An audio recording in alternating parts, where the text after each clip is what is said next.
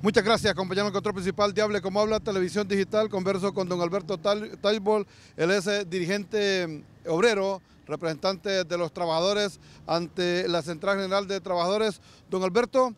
bueno, avanza el tiempo, ya prácticamente estamos tocándole la primera quincena al mes de enero, es cuando ya se debe de pagar el aumento del salario mínimo a los trabajadores, especialmente la empresa privada.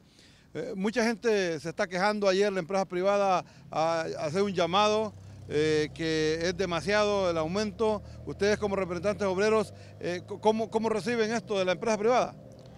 Bueno, no sé. la situación es, bastante complicada en el país y esto los ha de tener preocupados. Lo que pasa es que ellos también no han tenido la capacidad de enfrentar las situaciones que el gobierno debiera haber resuelto antes y no lo ha hecho, es decir, como es el alto consumo de energía eléctrica, el no control de los precios del combustible y todo esto dispara la economía, pero lo que se negoció fue previendo el futuro porque no queríamos estar en negociaciones y queriendo contribuir al desarrollo y la paz del país, se negoció por dos años y por lo tanto esto ya tenía que estar previsto, este, este impacto económico que iban a sufrir las empresas. Nos extraña ahora que ellos vengan con esta situación cuando no han hecho un planteamiento fuerte ante el Estado que ha estado manejando durante mucho tiempo ya el Partido Nacional al país y no ha mejorado las condiciones tanto de petróleo como de otros derivados y otros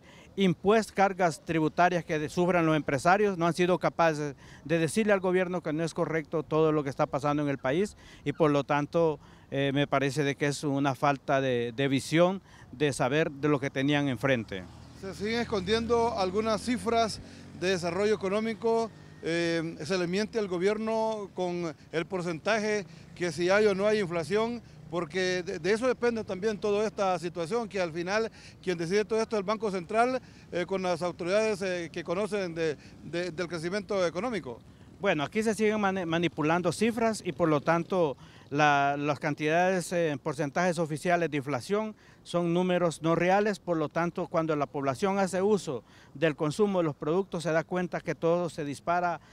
mensualmente y por lo tanto no creemos que nosotros estemos viviendo dentro de una burbuja y no saber lo que pasa en el país. Yo creo que aquí los empresarios también tienen que poner de su parte para poder contribuir al desarrollo del país, porque aislados, eh, unos por una parte y otros por otro lado, no vamos a salir adelante. Nosotros hemos hecho nuestro mayor esfuerzo y esperamos que el gobierno por parte de la Secretaría de Trabajo haga cumplir este aumento que se negoció para el mes de enero y que sea eh,